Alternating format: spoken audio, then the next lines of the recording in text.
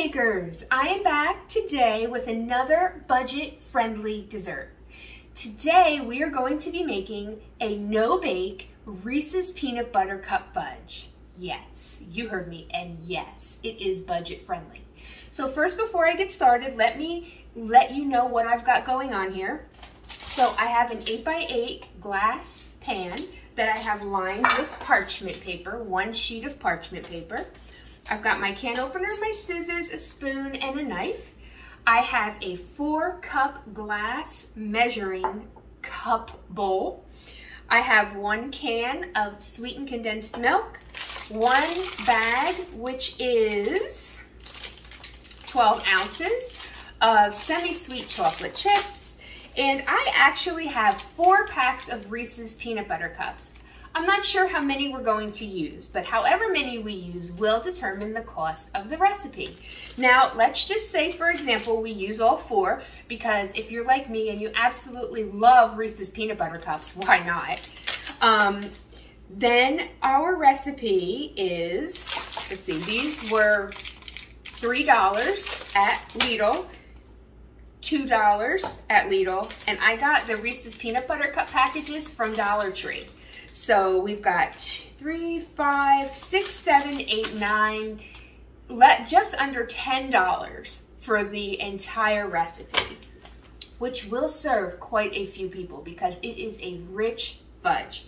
Okay, so before we get started mixing our ingredients and getting things going, I am going to unwrap and cut up my Reese's peanut butter cups. And I do have a plastic bag sitting right here for all of my trash because nothing bothers me more than a cluttered kitchen or a cluttered work environment.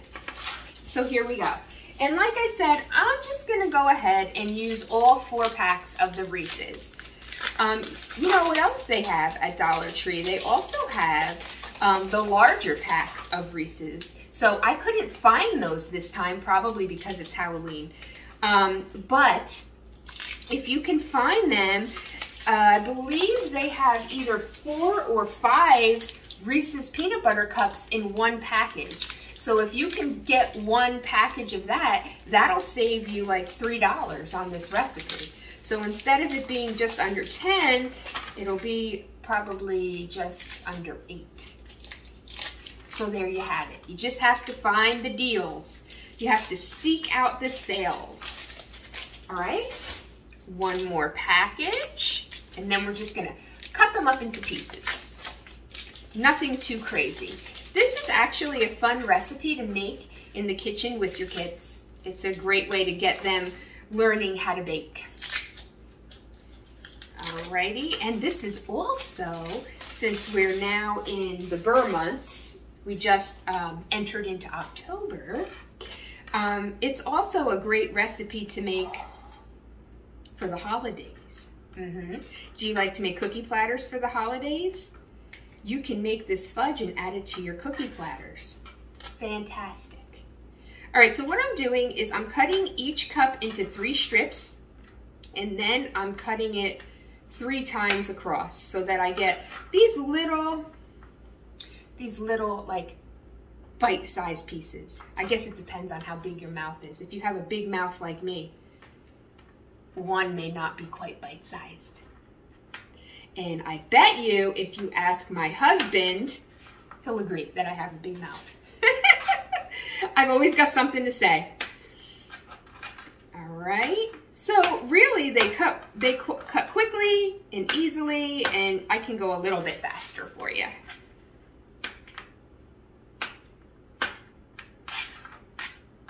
Now I've seen some people make this not this exact recipe because I've been doing this for years, but make a similar type of fudge recipe, but they actually take the Reese's peanut butter cups and line them in the bottom of the pan.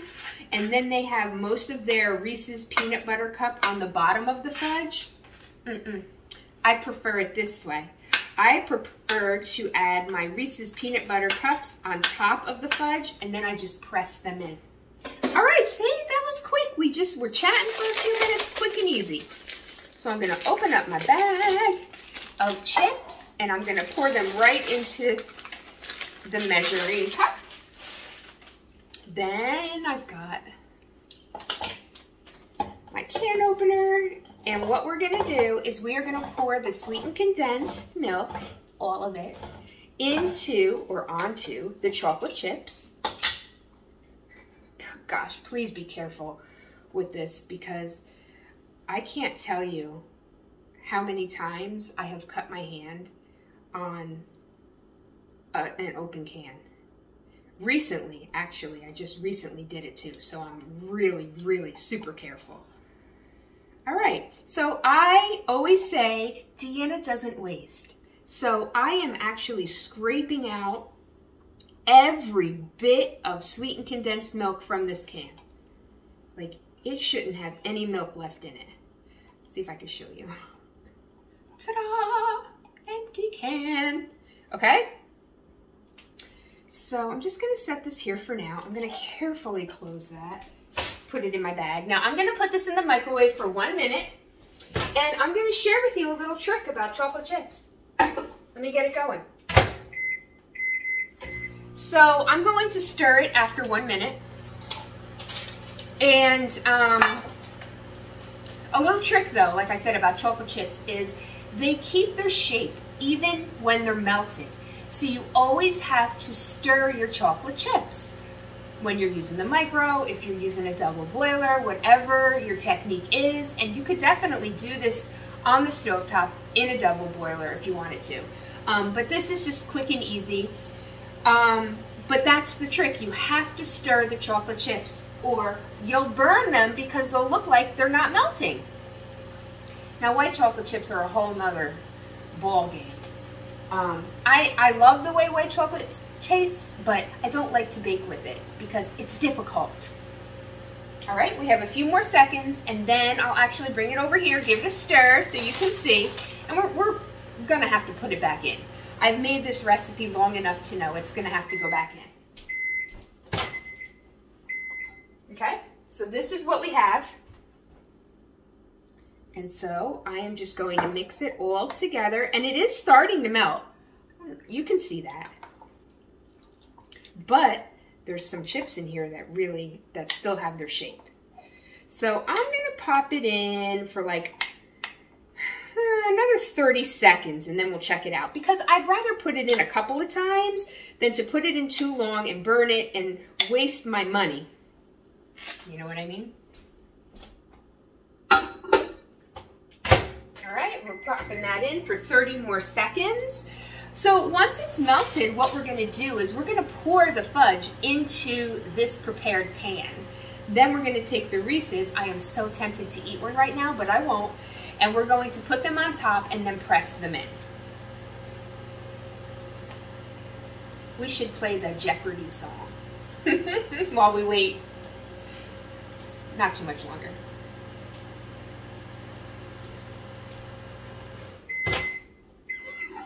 All right, let's give it another stir. I'm making a little mess here.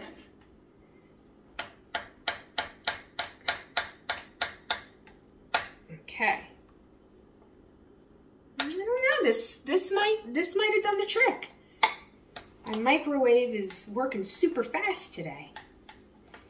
So you want to make sure that you scoop from the bottom up and around, almost like you're folding uh, just to make sure that you get all the chocolate and all of the sweetened condensed milk from the bottom and everything is mixed together. That looks really good. That looks really good. It's mixed together well. So let's clean off the spoon and I'm actually going to use the spatula to put this into the pan because I like to get every bit if possible, okay? Here we go. Do it right here for you. We're just gonna scoop this right on in. All right.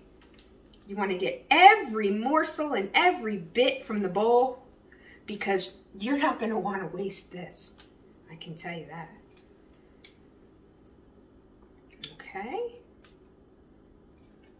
Look, that is so clean. Look at that. That's what you want because this is budget baking after all. We don't want to waste anything, right? Okay, so I'm just going to press it out to the sides of the pan. Okay, to all four sides, make it as flat as possible. Let me grab a little paper towel. I got chocolate on my hands. And then we're gonna give it a little shake. Obviously, we don't wanna bang it because it's a glass pan. You could do it on your hand like this. Um, or you could just shake it because you just wanna get a little flat. So this is beautiful. It's nice and flat. So now I'm gonna take my Reese's peanut butter cups and I'm going to sprinkle them over the top. I don't know why I did that. I can still see it. Okay. I like to kind of sprinkle them one or two at a time just because I don't want it to be like all clumped up in one spot. And yes, it may take a little bit longer, but that's okay because you do want it to look nice too. Because I promise you, it's going to taste amazing. Everybody loves Reese's Fudge. Well, I mean, not everybody, but the majority of people do. All right? So you just want to make sure the top is completely covered. And it is. We really don't want to leave too many like open spaces. You can see that. Yep. And now what I'm going to do is I'm just going to take my hand and I'm going to gently press the Reese's on top. Then I'm going to take this, I'm going to pop it in the fridge for as long as it takes for it to set. Uh, let's see. I'm gonna I'm gonna check it after about 30 minutes and see where it is. And it might be done after 30 minutes, and if not, I'll put it back in for another 30 minutes, but I would imagine after an hour, it's going to be set. And once it's set, we're gonna come back. I'm going to cut it so that you could see it. And then that's it. See you shortly. Well, we are back to taste test our Reese's Fudge. Everyone, this is my daughter Felice, and she's gonna be my taste tester today. And if I'm being completely honest with you, the fudge isn't even completely set. But she's been looking at it in the fridge, I've been seeing it in the fridge, my husband's been seeing it in the fridge, and we really just want to taste it. So here we are.